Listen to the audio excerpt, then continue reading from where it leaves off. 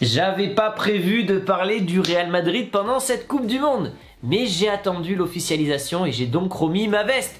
Hendrik est un nouveau joueur du Real Madrid, c'est le nouveau joyau brésilien, il a 16 ans, il joue du côté de Palmeiras et le Real vient donc de l'acheter pour 60 millions avec 12 millions de bonus, soit 72 millions d'euros pour un gamin de 16 ans on va essayer de décrypter son profil.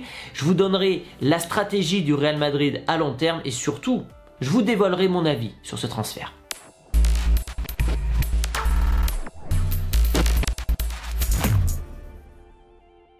La vidéo elle est sponsorisée par OneFootball si tu veux toute l'actu du Real Madrid, mais encore mieux si tu veux l'actu d'un joueur précisément, c'est désormais possible. Tu peux filtrer les informations du football avec ton club et ton joueur préféré pour avoir toutes les statistiques tous les articles mercato et tous les articles sur l'actualité de ton joueur préféré. C'est 100% gratuit et je te mets le lien dans la description. Bon déjà, la première chose, c'est que quand un joueur signe du côté du Real Madrid, je pense que tous les fans sont comme moi, on est quand même excités. Et ce joueur-là, encore plus, quand on en entend parler beaucoup du côté du Brésil comme Vinicius il y a quelques années, c'est exactement le même procédé et je vais y revenir juste après. On entend beaucoup parler de ce jeune Brésilien, on ne le connaît pas et donc vu qu'on ne le connaît pas, vu que personne ne l'a vu jouer, il y a ce fantasme d'avoir un véritable crack. On va voir ce qu'il va donner lorsqu'il viendra au Real. Il viendra à partir de juillet 2024 car il est mineur et le Real Madrid ne peut pas acheter d'étrangers mineurs pour jouer en équipe première. Il y a une règle comme ça en Espagne.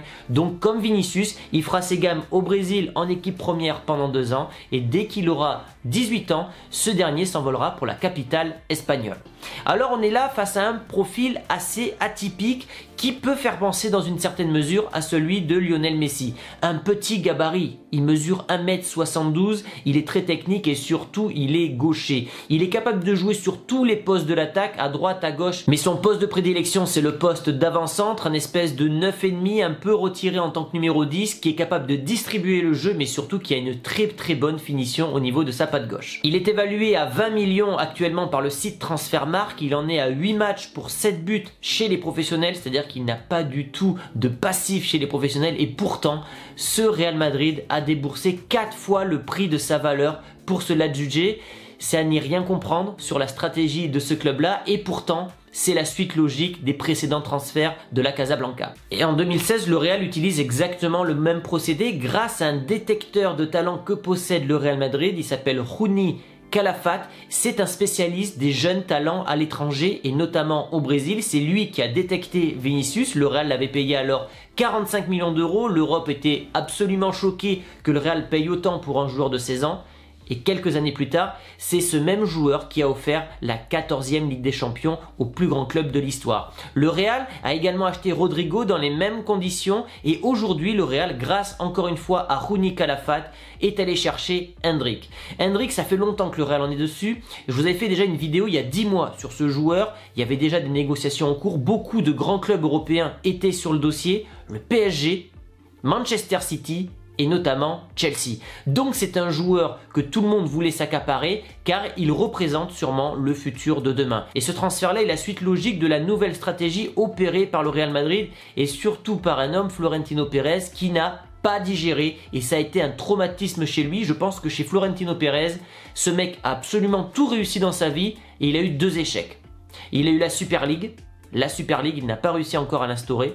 Et le premier échec, pour moi le plus gros échec qu'il ait subi, et qu'il a un petit peu traumatisé, c'est la non-venue de Neymar qui devait signer au Real Madrid, qui avait donné son accord pour signer du côté de la Casablanca et finalement il a signé chez l'ennemi juré, le Barça.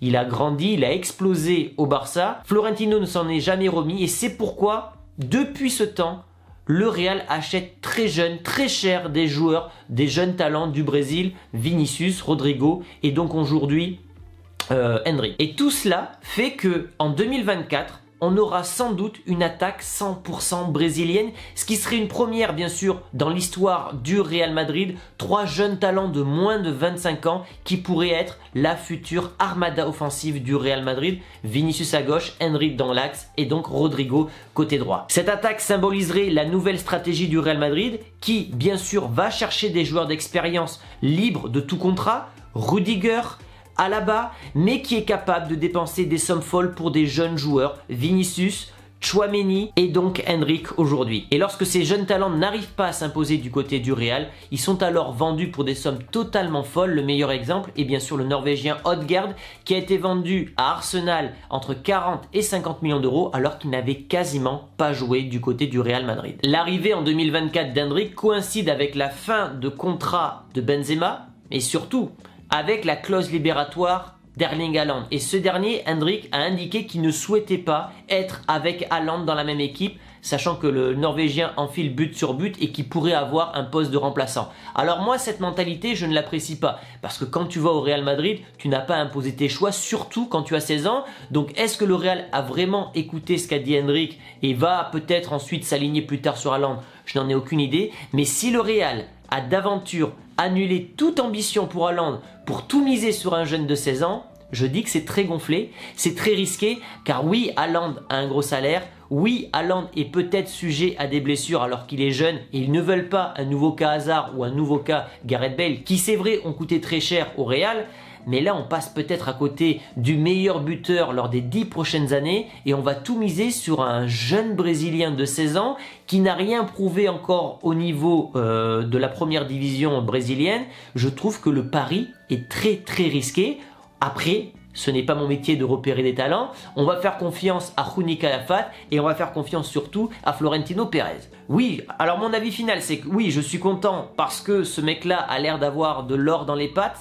Quand on le voit jouer dans les extraits, il a l'air d'être très bon, mais c'est à prendre avec des pincettes car le niveau du jeu brésilien est quand même plutôt faible. Mais le Real ne s'est pas trompé sur Rodrigo et sur Vinicius. Et donc j'ai envie de croire que le Real ne s'est pas trompé sur André. Cependant, si le Real dit adieu à Haaland en 2024, sachant que ce dernier devait représenter le futur après la fin de contrat de Benzema, dont son contrat expire en 2024, là évidemment ça serait notre histoire. Parce que j'ai toujours espéré voir le Norvégien signer un jour du côté du Real. Il était pour moi l'attaquant que le Real devait absolument avoir, cette espèce de joueur ultra complet devant, capable de jouer en pivot avec Vinicius. Là on va avoir une attaque visiblement 100% brésilienne, mais est-ce que tu peux miser sur un joueur qui va arriver alors à 18 ans et en faire un titulaire indiscutable Pour moi, c'est hors de question. Donc avec cette signature-là, je pense que le Real compte prolonger Benzema jusqu'en 2025 pour que ce dernier arrive à intégrer le jeune Brésilien pendant au moins une année, histoire de faire la transition. Donc vous, dites-moi ce que vous pensez d'Hendrick. Est-ce que c'est une folie dépensière d'avoir dépensé 72 millions pour un jeune qu'on n'a jamais vu jouer? Je crois que c'est du jamais vu dans l'histoire du foot d'avoir dépensé autant d'argent pour un jeune de 16 ans. Je crois que je ne me trompe pas là-dessus.